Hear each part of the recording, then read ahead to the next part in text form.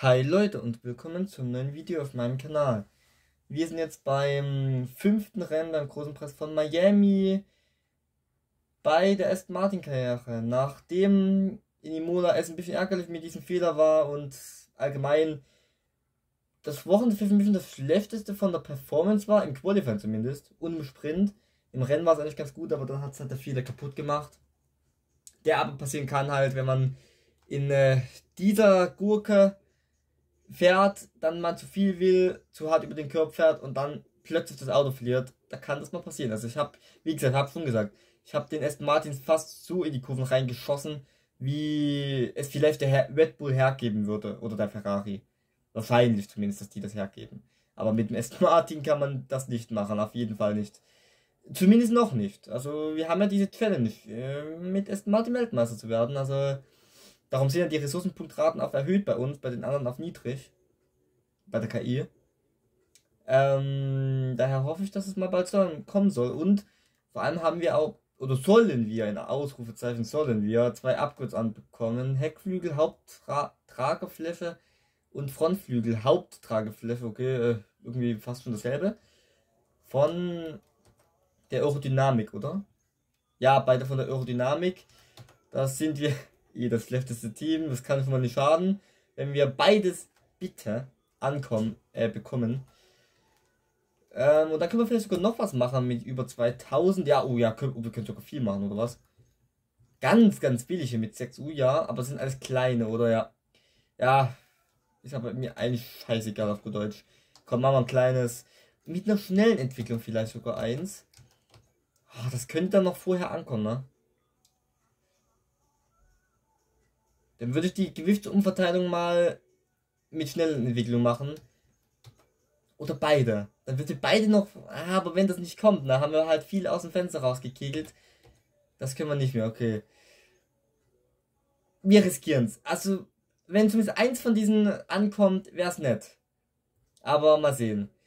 Aber es kann schon, Alter, das würde schon ganz schön großen Sprung machen, wenn alles ankäme vor diesem Rennwochenende. Aber ich befürchte leider nicht. Antrieb ist auch noch was da, aber erst in 23 Tagen ist auch noch ein großes U. Das wird auch viel ausmachen, bestimmt. Aber gut, beim Motor, beim Antrieb sind wir gar nicht mal so schlecht. Für diese Schrottkiste auf gut Deutsch.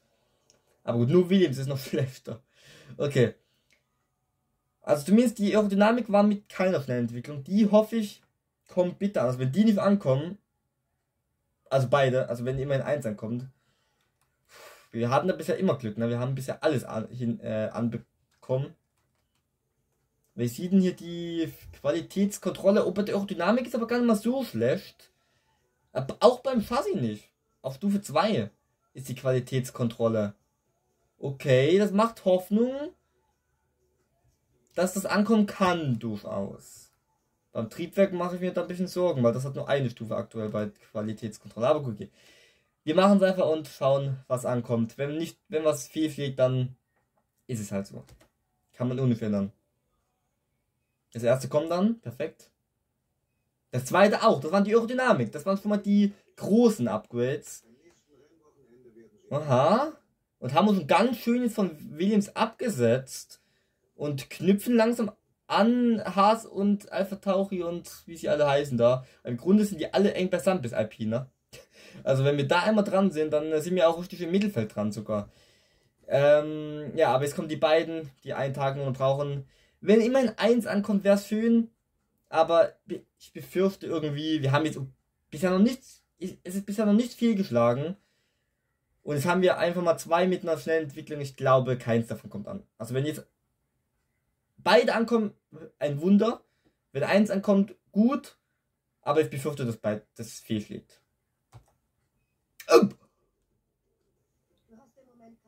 Okay, so kann man sich irren. Okay. Oha, wir sind jetzt ganz dran an, an Haas. Wir sind ja richtig nah dran jetzt am Mittelfeld. Alter, auch Alpine ist nicht mehr weit weg. Oh, das, das macht Spaß das Wochenende, glaube ich. Oh ja, da hat sich diese schnelle Entwicklung beim Chassis auf jeden Fall mal richtig gelohnt, aber mal ordentlich. Wir können sogar noch was wieder gleich wieder machen. Unfassbar mit diesem Haar. Oh, das ist sogar ein großes. Das würde ich aber sagen, nee, nicht normale Schnellentwicklung. Also wir haben nicht so viel Glück damit, niemals. Wir machen lieber hier eine langsame, oder vielleicht beim, bei der Dynamik, wie sieht das da aus? Und da sind wir sogar mittlerweile im Mittelfeld angekommen. Wir waren dann noch schlechtestes Team, wer sich dran erinnert, ne? Wir sind jetzt auf einmal direkt im Mittelfeld dran. Unfassbar, was zwei große Upgrades hier einfach mal machen können daraus. Beim Chassis sehen wir noch das vorletzte Team. Aber deutlich, was macht der Williams bitte für ihn? Ey, die sind ja komplett abgeschlagen. Beim Chassis, bei der Aerodynamik auch mehr oder weniger, nicht so deutlich, aber auch. Beim Antrieb bestimmt auch.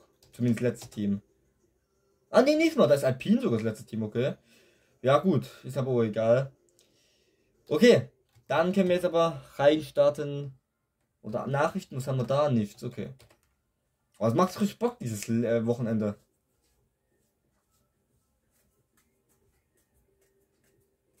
Im besten Fall können wir, oder mein Ziel ist es ja, für, äh, schon durchaus Weltmeister. Oder zumindest um den Titel in der zweiten Saison zu werden, damit wir ab der dritten Saison das Team wechseln können. Weil will ja das nicht ja ewig bei Est Martin sein. Äh, ach komm, haben wir damit auch mal Glück mit äh, prozentig klein. Nee, okay. Aber wir machen es trotzdem mal bis zum Ende. Vielleicht klappt es irgendwann mal. Ah, okay, alle guten Dinge sind drei. Wenn das jetzt nicht klappt, dann werde ich was anderes was probieren. Das klappt aber jetzt, okay? Dass alle guten Dinge äh, sind drei, hat sich bewahrheitet. Dass es auch wieder funktioniert jetzt. Okay, dann das erstmal noch. Und das. Bitte klappt, bitte klappt, bitte klappt. Es klappt nicht, okay. Ja, wir hatten dafür schon bei den Upgrades ganz viel Glück. Also da kann das immer viel schlagen jetzt. Das ist ja ohne so wichtig. Vor allem haben wir jetzt auch noch, noch mal zwei Trainings, wo wir die anderen Ressourcenpunkte haben können.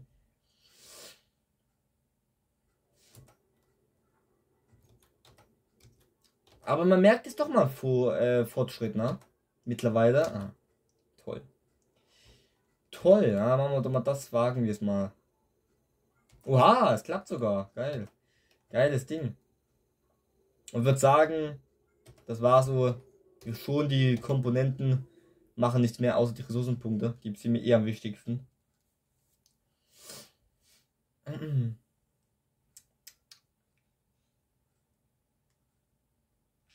Apropos, wie sehen die Komponenten überhaupt aus? Müssen wir da mal langsam mal was tauschen? Sieht schon geil aus. Wir können nicht mit Hasen mithalten auf jeden Fall. Wir sind nicht mehr abgeschlagen. Und Williams ist ja komplett. Also, wenn wir die heute nicht schlagen, das wäre richtig eine ganz schöne Ohrfeige. Oh, diese Komponente, ah, das Getriebe vor allem. Oh.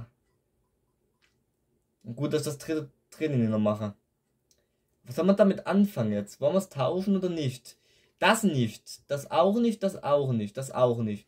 Im Grunde würde es eh nur um den Verbrennungsmotor gehen. Oder das Getriebe. Aber ich denke, obwohl das Getriebe. Also das Getriebe werden wir mal machen. Einbauen neues mit ohne Strafe. Den Motor würde ich mal noch lassen einfach für ein Rennen. Der wird schon oder hoffentlich hält ja. Aber das Getriebe vor allem. Das können wir noch für die Trainings benutzen. Einfach, das alte sodass das auch für das Neue schont, aber ich will jetzt lieber nicht damit Probleme haben, das ist mir ein bisschen zu heikel. Okay, dann können wir los in das Qualifying Sonne üben werden, das habe ich vorhin ganz vergessen zu sagen, aber ihr habt ja auch gesehen. Vettel auch mit starken über 700, ja, von so einem erfahrenen Fahrer muss man das erwarten, über 2000 Spiele, ja. Erhöhte Ressourcenpunkte machen viel aus. Ich will mal wissen, was die KI bekommt. Weil die ja auf niedrig sind. Vor allem nicht mal 1000 insgesamt mit beiden Fahrern. Aber gut. Aber jetzt wäre also beide, also zumindest Latifi müssen wir schlagen, bitte. Also das wäre jetzt für eine Enttäuschung, wenn äh, erstmal ist der sowieso das langsamste im Feld und zweitens noch dazu mit dem langsamsten, deutlich langsamsten Auto im Feld. Also ich werde den auch nicht schlagen, also ich drehe drüber durch. Aber wir haben ja bisher immer eine ganz gute Überraschung eigentlich gebracht. In Bahrain und in, in, in und in äh, Australien zumindest. In Imola was verhalten aber auch trotzdem Latifi vor allem geschlagen. Und Gasly, glaube ich. Ich weiß es nicht genau. Okay, komm. Miami so eine geile Strecke einfach. Die ist wirklich richtig mega. Außer diese letzte Kurve, die habe ich ein bisschen Probleme immer. Die ist ein bisschen schwer. Zum Anbremsen, vor allem mit diesem Auto aktuell. Das ist ein bisschen vorsichtig. Das muss ich dann auf der schnellen Runde jetzt besser hinbekommen.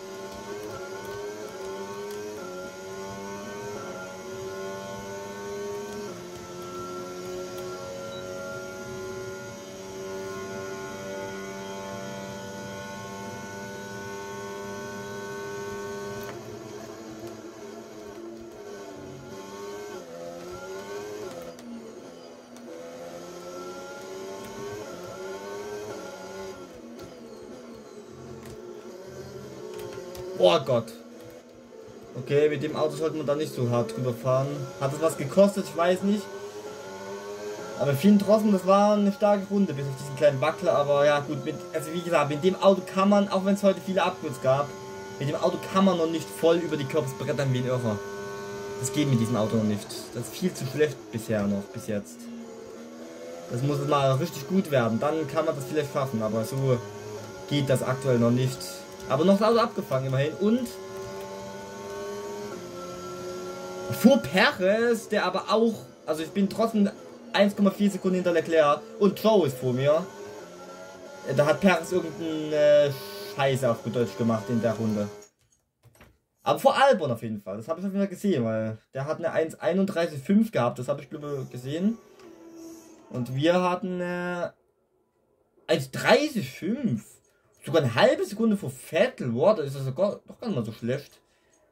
Okay, Albon hat irgendwas. Obwohl der Williams ist schon deutlich langsamer mittlerweile, ne? Aber wir haben mal Zeit vor gucken mal, wo wir sind am Ende.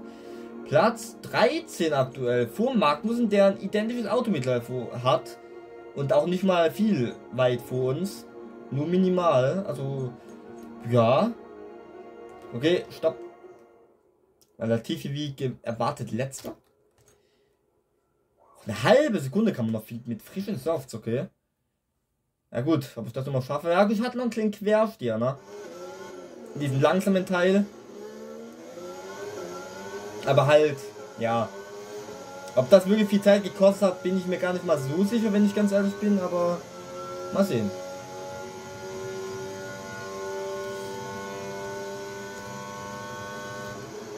Ich habe sogar vielleicht wieder zwei Runden im besten Fall. Aber treffe jetzt vielleicht. Nee, ich treffe nicht auf Verkehr, okay. Die sind alle weit genug weg, denke ich, dass ich meine Runde, beziehungsweise meine zweite Runde, je nachdem welche die beste ist, fahren kann.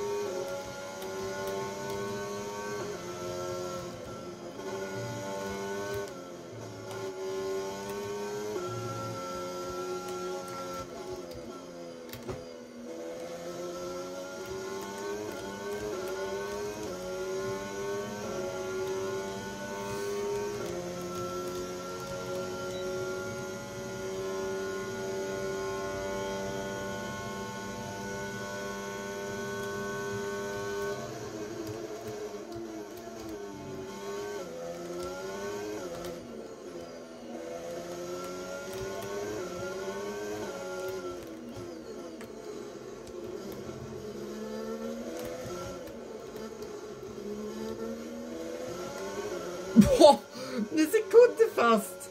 Was war das denn für eine... Lila... Ach du Heilige. Warum treffe ich die letzte Kurve? Vor Aufregung. Ja, die treffe ich ja gut. Alter, Lila im Mittelsektor? Was zum... Was war das für eine geisteskranke Runde überhaupt jetzt? Das ist ja Das ist unfassbar. Was? Und ich sag hier, die erste Runde war gut. Ja, war sie eigentlich wohl? Was hab ich denn da? Also gut, man muss sagen, eine halbe Sekunde soll ich ja, soll ich ja noch finden. Also war, hat er die Zeit da vorhin angegeben. Aber was? Äh, okay. Beende ich das Platz 6 oder was? Also, die sind alle lang. Haas? Auch nicht. Der Alpine? Auch nicht. Der Alpha Tauri. Kommt der ran? Nee. Das war's. Platz 6 oder was? Im ersten Qualifying. Ey, was? McLaren noch? Oh. Oh, da kam jetzt ein Williams. Okay. Platz 6 einfach. Ich werde hier wahnsinnig. Also ich habe wohl alles rausgefeuert. Na, ey, das war wirklich eine makellose Runde, wenn man so will. Eine makellose. Eine makellose. 15? Die haben es ja wohl alle nicht verbessert, oder? Also dann haben wir einfach die Strecke am besten gehabt. Vettel auch! Vettel auch in Q2! Mit beiden in Q2. Das Upgrade hat wohl funktioniert auf jeden Fall. Oh, geil, Sepp! Und wie knapp Zehntausendstel hat, haben ihm, äh, hat das geschafft.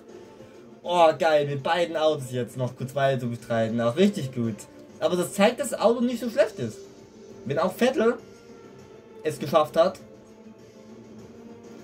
Der hat beide Haas geschlagen, die ja eigentlich auf dem Papier noch zumindest lang äh, schneller sein sollen. Minimal oder genauso schnell. Bei der Wien auch schön geschlagen und sogar ein Alfa Romeo, der noch ein bisschen mehr vor uns ist. Also, also Bottas vor allem, während Joe auf 11 ist, okay. Keine Ahnung, was Valtteri gemacht hat, aber mir ist so scheißegal. Mit beiden Autos auch richtig nice. Richtig geil. Geht Q3, ist die Frage. Ja gut, dann muss hier wieder eine perfekte Runde jetzt hinhauen, ne? Klar. Okay. Haben wir jetzt noch einen frischen Satz? Zwei frische Sätze? Wir haben nur einen frischen. Mmh. Dann. Puh. Wollen wir jetzt mit Gebrauchten rausfahren nochmal? Ja, machen wir mal. Come on. Machen wir mal. Einfach mal ein bisschen nochmal üben. Einfach mal so eine Testrunde auch.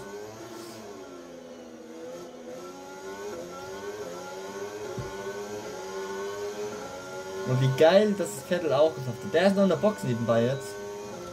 Ja, kann er. Ich meine, der fährt vielleicht sogar nur eine Runde wirklich, weil er vielleicht auch nur keinen frischen Satz mehr hat. Das kann sein, durchaus.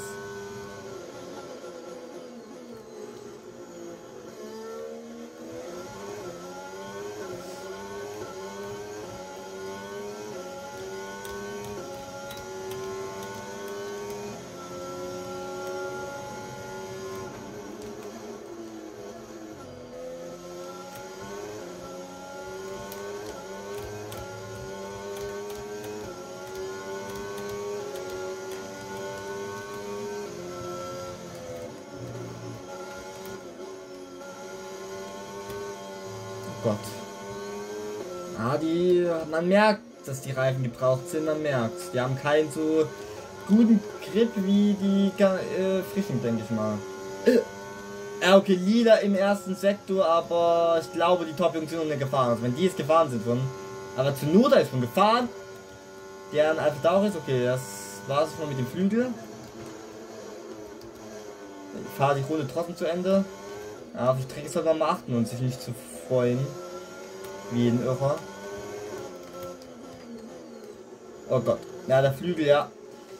Die Runde ist es eh weg, aber es waren ja eh nur Gebrauchtreifen, deswegen habe ich das ja auch mehr oder weniger gemacht. Einfach mal eine Zeit zu haben, um dann sich freuen zu können, wie schnell das am Ende wird. Wie viel schneller das am Ende wird.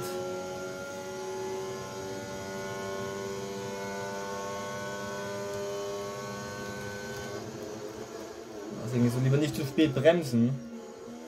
Wegen Flügelschaden lenkt das Auto noch schwerer und dann kann man unter Wand sein. Ganz leicht. Aber trotzdem eine 31,3. Was war meine Q1 Die war schnell auf jeden Fall. Der zweite war vor allem. Ja, aber ja, gut, aber gegen den Verstappen mache ich es gerade gar nichts. Der hat eine unter 1,29, wenn ich das so richtig gesehen habe gerade. Ja, da ist noch viel Luft nach oben auf jeden Fall. Ja. Also wenn ich zumindest eine Sekunde noch finde. Die Reparaturarbeiten am Wagen haben Vettel! Vettel ist Q3? Vorerst. Was? Was ist das Auto hier für de, für was? Okay, es muss aber äh, abliefern, also wenn die von einem Vettel geschlagen werden, also wenn Vettel in Q3 kommt, dann nicht, nicht, also das wäre schon, nachdem Q1 auftritt, wäre das schon ganz schön bitter. Aber Alter, Vettel, okay, es kommt noch zu Noda, okay, aber trotzdem, Alter. Oder haben die, ja gut, obwohl ein Ricardo kann ich mir vorstellen. Nee, beide McLaren so weit hinten. Dann das Auto vielleicht nicht so ganz gut hier zu sein. Aber Gasly muss noch besser können, wenn man sieht, wo Tsunoda hier gerade ist. Ocon muss besser können, wenn man sieht, wo Alon so. Ja, okay, da ist nur unmittelbar vor. Okay. Aber jetzt muss es passen. Es muss die Runde passen. Ich mache wieder hier ein bisschen was zwei Runden, falls es nicht. Eine Sekunde soll sogar Delta jetzt hier schneller sein als halt mit diesem gebrauchten jetzt da. Als meine Runde ungefähr. Das wäre ungefähr Vettelniveau. Aber jetzt kaum konzentrieren. Also mit Platz 15 wäre ich überhaupt nicht zufrieden. Also mehr, also ein paar möchte ich schon schlagen, besiegen. Ah, oh, come on. Kann ich vielleicht sogar zwei Runden fahren oder bin ich diesmal ein bisschen zu zeitig rausgefahren? Ich bin mitten im Pulk hier gerade. Oh, es wird eng, glaube ich. Ja, ich glaube, aber ich schaff's gerade so, wenn ich wollen würde, zwei Runden zu schaffen. Aber nur wenn ich will. Wenn die nicht auch wieder die Oberhandrunde ist.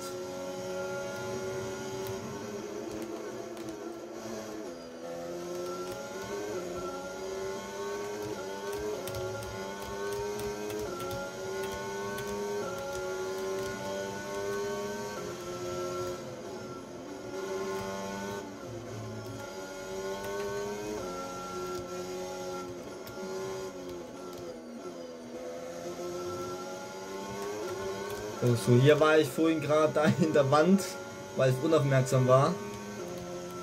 Ah, hier ist auch ein bisschen kurvig auf diese Gerade nach. Wenn ich dann mal nicht lenke, klar. Auf einer Geraden braucht man nicht lenken, die richtig gerade ist. Aber hier ist es nicht ganz gerade. Oh nein! Es war fast zu spät. In den Track Limits bleiben. Sehr gut. Es war aber perfekt noch.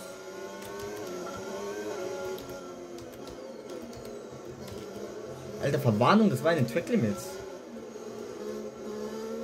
Oh Gott. Schon wieder wieder in diesem Mittelsektor. Ist die KI da so scheiße oder was ist das? Jetzt wo ich mal hier alles hinbekommen habe in diesem Sektor. Ich weiß nicht, ob, die, ob ich da einfach nur zu gut bin oder die KI einfach so schlecht. Es war fast zu spät, glaube ich. Aber es war perfekt. Es wird schon wieder, aber trotzdem eine sehr gute Runde. Über 1,7 Sekunden verbessert. Ist es ja sogar das jetzt?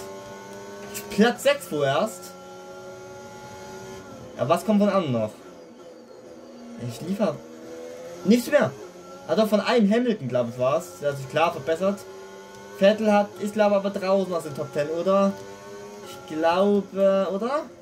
Er kann noch 10. sein vielleicht, aber ich glaube nicht, weil da ist jetzt Ricardo vor Vettel auf jeden Fall auch noch. Schade, aber ich glaube, er ist nie 15er. Oder? Elfter! Oh nein, der hat es fast geschafft in Q3. Aber guckt euch das mal an, Platz 11 für Vettel und für uns sogar Q3. Das Auto ist massiv besser geworden, obwohl es auf dem Papier noch immer so aussieht. Das ist unglaublich, Alter. Sepp. Wahnsinn. Nur eine Zehntel hat ihm zu Q3 gefehlt. Unfassbar. Und zum ersten Mal Q3, oh. Jetzt endlich mal. Ohne Fehler in der Runde. In Australien hätten wir es vielleicht, vielleicht geschafft wahrscheinlich drei Zehntel finden müssen. Ob das drin gesteckt hätte, weiß ich nicht. Aber jetzt fahre ich wieder nur eine Runde. Weil äh, zweimal muss man nicht machen. Komm, ich fahre jetzt nur ein oder zwei Runden halt so ein bisschen wieder halt kurz so vom Ende auch rausfahren. Damit das Qualifying jetzt auch nicht zu lange dauert. So, so vier Minuten vom Ende fahre ich wieder raus. Was exakt jetzt? Na, jetzt ist es ungefähr soweit. Okay. Mit frischen Softs. Jetzt kann ich trotzdem zwei Runden fahren, je nachdem, welche wieder besser ist dann. Oder ob die eine, die ich jetzt habe hier, oder eine, die erste, die fahre, in Q3, ob die halt besser ist. Schlechter. Ah, können wieder aber diesmal eng werden, auf jeden Fall. Bin der viertletzte auf der Strecke jetzt. Ah, ich glaube, ich könnte wieder gerade so schaffen, dass sie es schaffen.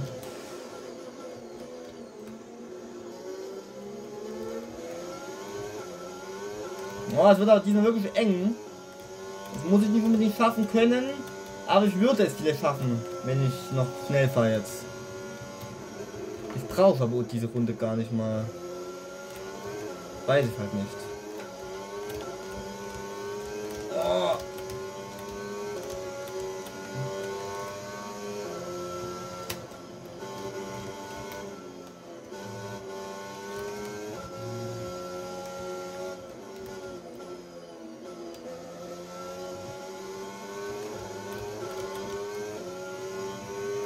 Auto ist aber einfach gut. Also es fühlt sich Wahnsinn an einfach. Kein Vergleich zu Imola, wo es kaum, wo ich halt auch diesen Fehler gemacht habe. Im Rennen meine ich. Im Rennen und im Quali von allgemein das Auto nicht so schnell war es einfach.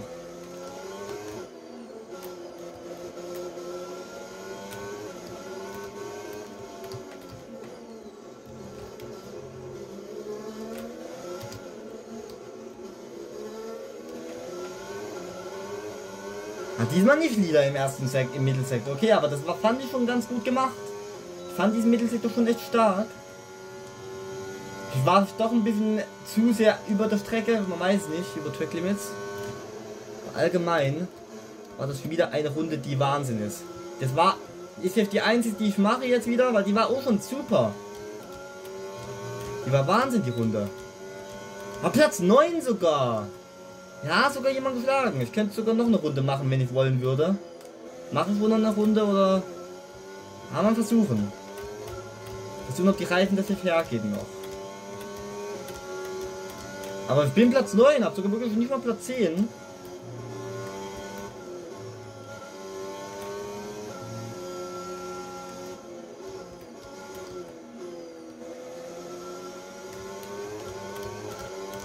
Ja, ich bin trotzdem zurück. Ich glaube, die Reifen geben das so nicht mehr her jetzt. Zwei Zehntel. Ah, nee, die, ich bin auf der Gerade noch viel zu langsam jetzt. Nee, bringt nichts. Aber Platz 9, ey. Geil. Zunoda geschlagen. Und das aber ganz... Ah, mh. Hm. ah. Max Verstappen. Damit ist das Qualifying rum, aber keine Sorge. Alter! Was ist denn das, bitteschön? Die ersten vier in 13 Tausendstel. Der zweite bis vierte in 3000 Was ist denn das? Und auch Hamilton noch unter einer halben Zehntel, knapp. Was zum Geier? Und ja, warum ich auch vorhin die erste Reaktion? Deswegen, 5000 hinter Ricardo, das ist schon ärgerlich. Das hätte bestimmt noch irgendwie drin gesteckt. Aber da bin ich mir gar nicht so sicher. Das ist dann schon eine echt eine große Lücke. Aber wir hatten noch eine große Lücke zu, zu Not am Ende. Also es war schon echt eine geile Runde. Eine Sekunde nur weg von der Spitze, kann sich sehen lassen. Auf jeden Fall. Okay, und das war's dann auch mit diesem geilen Qualifying. Ich hoffe, das Rennen geht so weiter. Ich hoffe es. Und ja.